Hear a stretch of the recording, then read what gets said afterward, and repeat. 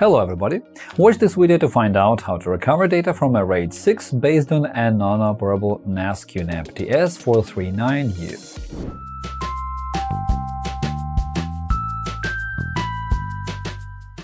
QNAP NAS is quite a reliable type of storage network system, but unfortunately there is no equipment that is 100% safe from possible issues. Sooner or later, a network-attached storage may fail, and all the data inside it will become inaccessible. In today's video, well, we'll show you the sequence of steps to help you restore access to your data. So what should you do if your NAS QNAP displays a failure, but your valuable data is locked on that RAID 6? Before you start recovery operations, it's essential to understand that any manipulations involving a RAID system may entail the risk of data loss. That is why the first step is to back up your stuff if possible. There may be all kinds of issues, and very often the NAS just won't turn on or refuses to boot. In such situations, uh, its hard disks tend to remain operable, and it gives us a good opportunity to recover the data. Within a few minutes, we'll see how to retrieve files from a RAID system when a network-attached storage breaks down. For better understanding of how the RAID technology works, let's explore the process of creating a disk array system on this specific QNAP NAS. RAID is a technology that allows combining several hard disks into a single logical volume in order to improve performance and fault tolerance. So, if you need to create a RAID, which stands for a disk array, enter the web interface of your QNAP NAS using the corresponding IP address in your browser. When you're there, open Control Panel and go to Storage Manager. In the Volume Management tab, click on the Create button. Hit OK to continue. In the Volume Creation Wizard window, choose the RAID type. In my case, it is RAID 6, and click Next to proceed. Select the drives for this array and click Create. The system will warn you that all the data on the selected hard disks will be erased. Click OK to confirm it. After that, the array will be built, disks will be formatted, and the disk space will be initialized. This process is quite long. When it's over, you'll be able to create a shared network folder and change other volume settings. So now it's time to create uh, that shared folder. Open File Station Click on the plus button to create a shared folder, give it a name, and modify permissions if necessary.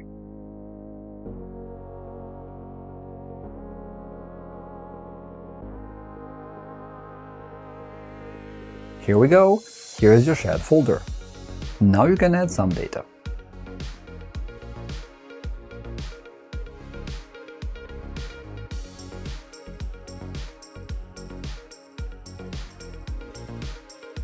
If the network-attached storage doesn't respond to your pressing the on-off button or it shuts down suddenly, something may be wrong with it. In such situation, the first step is to troubleshoot the issue.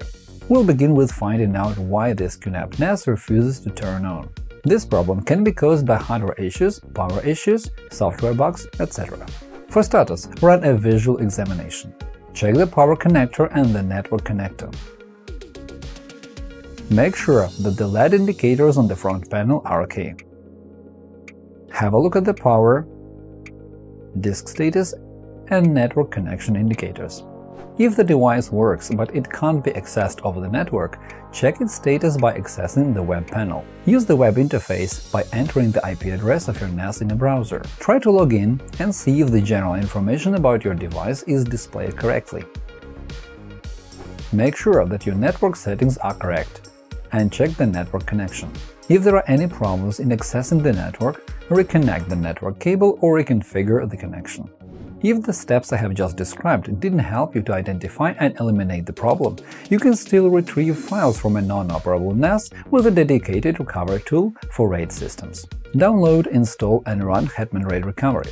It will rebuild the damaged RAID with the available hard disks so that you'll be able to retrieve its remaining data. To start the recovery process, take the drives out of the storage device and connect them directly to the motherboard of a Windows computer. The most important thing is to connect all disks at the same time. The only exception is when you work with the RAID system that can remain operable when one or more hard disks are missing.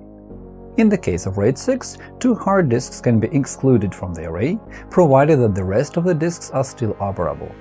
If it's impossible to check operability of all disks, just connect all the HDDs that this RAID consisted of. If your motherboard lacks SATA ports to connect all the disks, or you have a similar problem with power connectors, you can solve the problem by using special expansion cards and adapters, and you can see a few examples on the screen.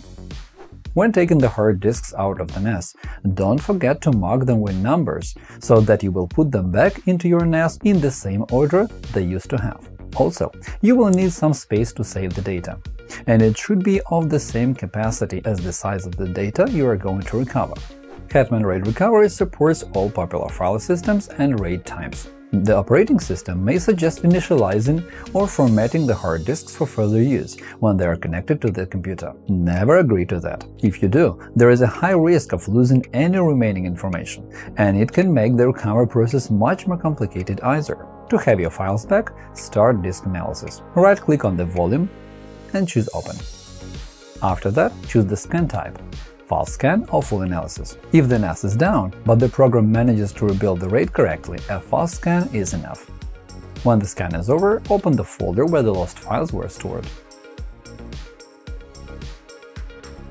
The previously removed files are marked with the red cross. You can see the contents of every file in the preview window, and this also applies to photos, videos, and documents.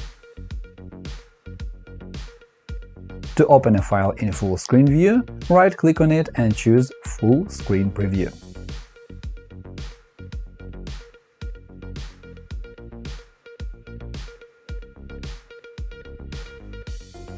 After that, select all the items you want to recover and click the Recovery button. Choose the directory where you want to save the files, the disk and the folder, and click Recovery again.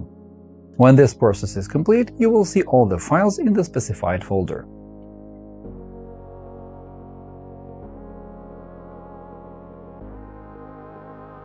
To ensure more safety for working with damaged drives, this program has a feature to scan disk images instead of actual HDDs. This will reduce the disk load on your drives and extend their lifespan. To create a disk image, right-click on the drive and choose Save disk specify the path to save the file. After that, you'll be able to mount this image and scan it. To mount a disk image, open the Tools tab, select Mount disk, specify the path to the image file, select it, and click Open. If you stored virtual LUN disks on your RAID and you had a configured target ISCSI storage, you should restore its IMG file before retrieving any data from there. This image contains the files that have been written to the virtual network drive. After scanning it with the recovery software, go to the folder iscsi.img and recover files with the name of the required LUN to any directory you find convenient.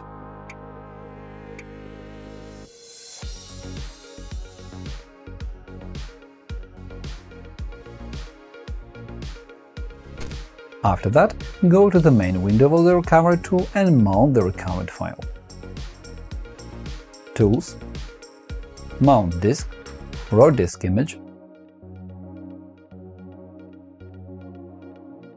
Select all files, choose the one you need, and click Open. Now scan the mounted disk. Right-click on the disk, Open, Fast Scan.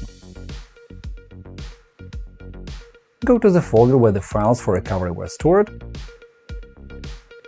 choose the items you need, and click Recovery. Select where you want to save them, and click Recovery again. When the recovery process is complete, you will see all the files in the chosen directory.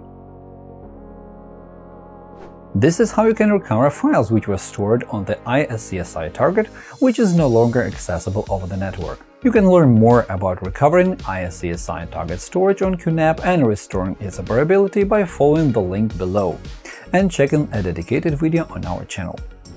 Summing up, today we have explored the key steps in recovering data from RAID 6 based on QNAP NAS, which broke down suddenly. Remember that the data recovery process may turn out to be long and complicated, and it always requires you to be most attentive, so make sure to follow our recommendations closely.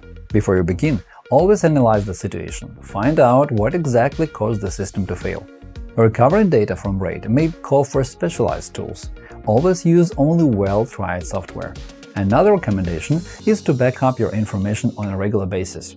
This simple step will help you avoid data loss in case of any failures or malfunctions occur. Remember that successful data recovery depends on a number of factors, and the final result may vary in every specific case. And that is all for now. Hopefully this video helped you to recover your data. Remember to click the like button and subscribe to our channel. Leave your comments under the video. Thank you for watching and good luck!